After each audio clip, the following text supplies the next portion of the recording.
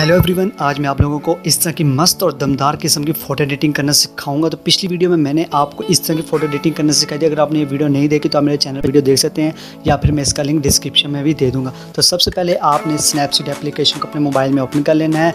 ये आपको play store पर भी मिल जाएगा, इसका लिंक मैं आप डिस्क्रिप्शन में दे दूँगा, वहाँ से डाउनलोड कर सकते हैं। तो आप ओपन करने के बाद आपने प्लस आइकन पर क्लिक करना है और कोई भी इमेज को ओपन कर लेना तो कर लेना तो मैं ये वाली इमेज ओपन कर लेता हूँ। फ्रेंड्स यहाँ पर हमारे पास फ़ोटो हो चुकी है ओपन तो अब हम जाएँगे यहाँ पेंसिल वाले आइकन पे क्लिक करेंगे और अब हम जाएँगे डबल एक्सपोयर मोड में।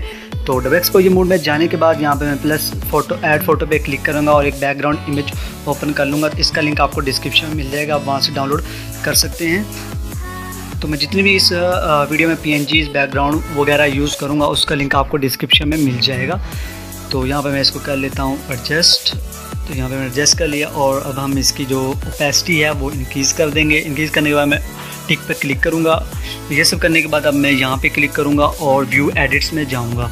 व्यू एडिट्स में जाने के बाद मैं डबल एक्सपोजर सेटिंग्स को एडिट करूँगा सेंटर वाले ऑप्शन पे क्लिक करके।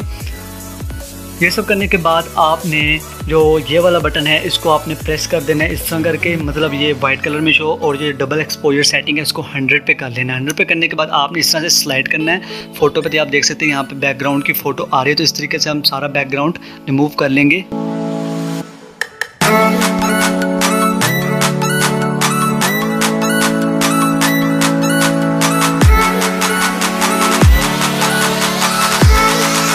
तो फ्रेंड्स बैकग्राउंड चेंज के दौरान अगर आपके पास कोई मिस्टेक हो या जिस तरह मेरे पास इस जगह पे यहाँ पे मिस्टेक हो गया तो हम यहाँ पे डबल एक्सपोजर सेटिंग्स को ज़ीरो करेंगे और इस जगह के ऊपर ड्रा करेंगे तो ये रिमूव हो जाएगा। तो फ्रेंड्स यहाँ पे हमारे पास बैकग्राउंड हो चुका है। रिमूव रिमूव होने के बाद अब हम टिक बटन में क्लिक करेंगे और अब हम करेंगे ग्लासेस का कलर चेंज तो हम यहाँ पर बैक जाएँगे और डबल एक्सपोजर मोड में जाकर एक और पी ऐड करेंगे ताकि हम जो ग्लासेस का कलर है वो चेंज कर सके तो यहाँ पे मैं अब मोबाइल की गैलरी में चला जाता हूँ और यहाँ पे एक रेड कलर की पीएनजी ऐड करता हूँ ताकि हमारे पास जो ग्लासेस हैं वो रेड कलर में हो जाएँ।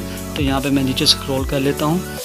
तो ये हमारे पास रेड कलर पैलेट और अब हम यहाँ पे इसका जो ब्लेंडिंग मूड है, वो सब्ट्रैक्ट कर लेंगे और जो ओपेसिटी है ना, इसकी थोड़ी सी एडजस्ट कर लेंगे। तो यहाँ पे हम एडजस्ट यहाँ पे रख लेते हैं ओपेसिटी और यहाँ पे ओके करते हैं। ओके करने के बाद आपने दोबारा जाना है व्यू एडिट्स मेन्यू में और डबल एक्सपोजर सेटिंग्स को अपने एडिट करना है और ग्लासेस पे जो कलर है, वो हमने रेड कलर का करना है। तो सेम प्रोसीजर वही डबल एक्सपोजर सेटिंग को हंड्रेड पे कर देना है और ग्लासेस के ऊपर ड्रा करना स्टार्ट कर देना है, इस तरीके से। तो फ्रेंड्स यहाँ पे हमारे पास जो ग्लास का कलर है, वो चेंज हो गया अब हम करेंगे टी शर्ट का कलर चेंज तो प्रोसीजर सेम से दोबारा रिपीट करेंगे और अब हम जो टी शर्ट का कलर है, वो ग्रीन करेंगे। तो इसके लिए हमें एक ग्रीन कलर की पैलेट चाहिए तो मैं गैलरी में जाता हूँ और ये फ़र्स्ट पे मेरे पास ग्रीन कलर में एक बैकग्राउंड है, इसको सेट करता हूँ और इसको थोड़ा सा एडजस्ट कर लेता हूँ। एडजस्ट करने के बाद दोबारा से ब्लेंडिंग मोड सेंटर वाले बटन पर क्लिक करूँगा और जाऊँगा मैं सब्ट्रैक्ट ऑप्शन में और यहाँ पर मैं इसकी ओपेसिटी एडजस्ट कर लूँगा। तो जहाँ पे मुझे सही से रिज़ल्ट मिलेंगे, वहाँ पे रख लूँगा तो यहाँ पे मुझे सही से रिज़ल्ट मिल रहे हैं तो यहाँ पे मैं ओके करूँगा और दोबारा से व्यू एडिट्स ऑप्शन में जाऊँगा और यहाँ पे शर्ट के ऊपर ग्रीन कलर ड्रा करूँगा तो यहाँ पे डबल एक्सपोर सेटिंग 100 और इस तरीके से मैं ड्रा कर लूँगा।